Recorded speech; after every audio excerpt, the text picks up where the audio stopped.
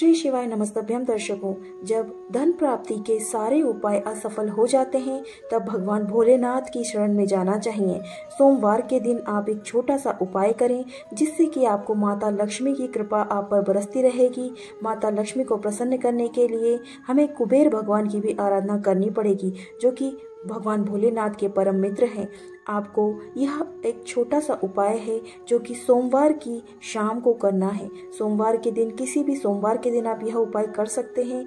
इसके लिए आपको गाय के घी का एक दीपक तैयार करना है। मिट्टी का भी दीपक ले सकते हैं या फिर आप आटे से दीपक बना लें।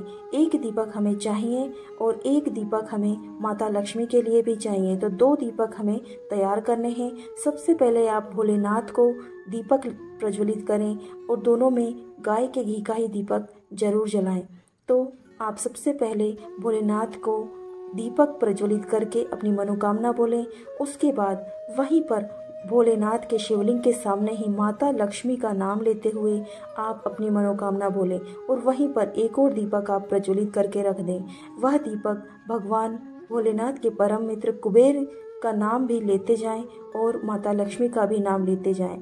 ऐसा करने से आपके धन धान्य में वृद्धि होगी, क्योंकि कहा गया है कि सबसे पहले माता लक्ष्मी की कृपा पाने के लिए कुबेर भगवान को प्रसन्न करना होता है, क्योंकि धन की देवी माता लक्ष्मी है। माता लक्ष्मी के आदेश पर ही कुबेर भगवान आपको धन की प्राप्ति देंगे। तो दर्शकों, ऐसे ही कई उपाय हैं जो पूजनी श्री पंडित प्रदीप जी मिश्रा द्वारा बताए गए हैं।